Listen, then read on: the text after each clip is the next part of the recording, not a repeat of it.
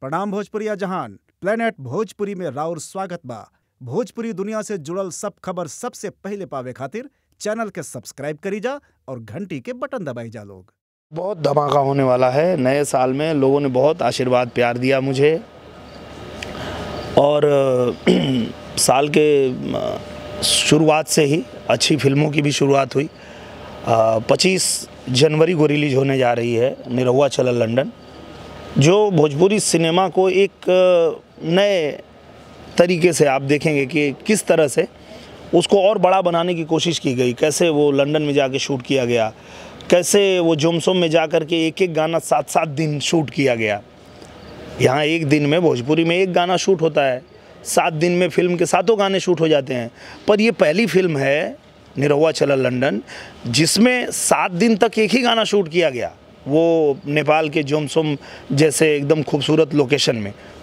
तो कोशिश की गई है कि इसको और बेहतर बनाया जाए, बड़ा बनाया जाए और वर्ल्ड क्लास सिनेमा जो होता है, उससे हम भोजपुरी सिनेमा को टक्कर लेने के लिए एकदम तैयार हो जाएँ, ऐसा हम कोशिश कर रहे हैं। तो वो शुरुआत में ही रिलीज़ हो रही है पच्चीस जनवरी को, आप देखेंगे। उसके बाद एक और फ़िल्म है जो और भी बड़े लेवल पे बनी है, शेर हिंदुस्तान। जो बहुत ही मतलब मैं कहूँ कि 50-60 दिन तक उसकी इतनी बेहतरीन शूटिंग हुई है कि लोग देखेंगे तो वो बॉर्डर को भूल जाएँगे कि बॉर्डर में क्या फाइट और सीक्वेंस थे, शेर हिंदुस्तान में तो उससे भी ऊपर कर दिया। तो ये आप होली पे देखेंगे, होली में आएगी ये फ़िल्म। उसके अलावा दो फ़िल्म और है। एक है सैया जी दगाबाज और एक फ़िल्म है जय बीरू। वो भी कमाल की फ़िल्म है, दोनों वो भी बन के तैयार है तो वो आप देखेंगे। उसके अलावा अभी हम लोग जो फ़िल्म किए हैं, जो कंप्लीट हुई है, गबरू। पहली ऐसी फ़िल्म है, जिस फ़िल्म में मुझसे भी महँगा एक और हीरो है। अब आप सोचेंगे कि भोजपुरी में मुझसे महँगा हीरो कौन आ गया? तो मुझसे महँगा हीरो इसमें गबरू है।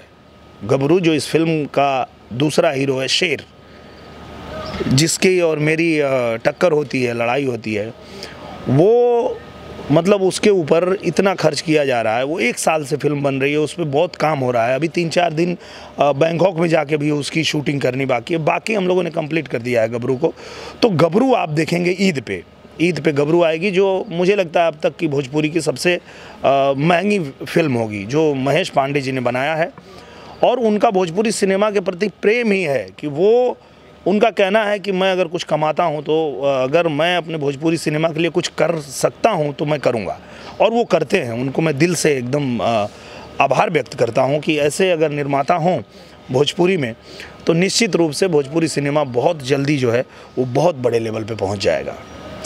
तो ये सारी आने वाली फ़िल्में हैं। बाकी दर्शकों ने बहुत सारा प्यार दिया और बीते साल में भी बहुत सारा धमाका हुआ।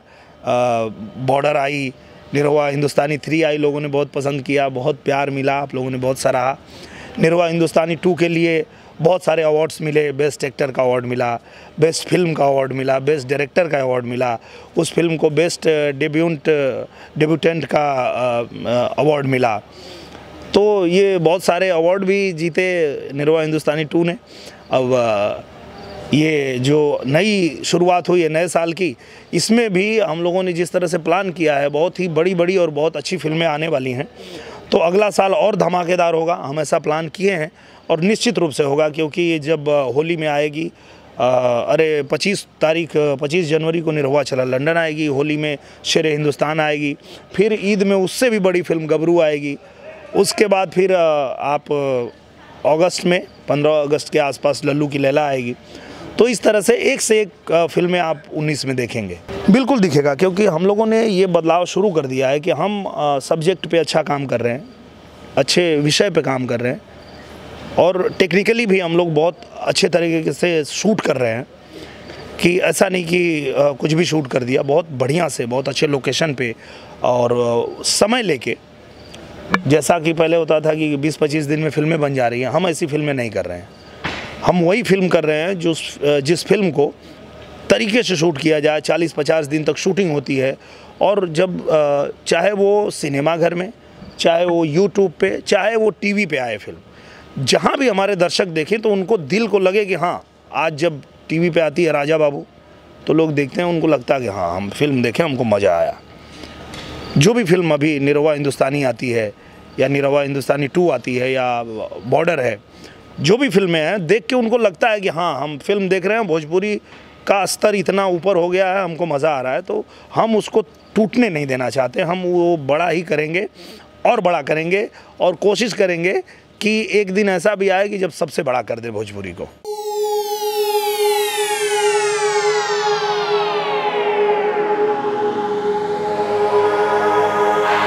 Planet bhojpuri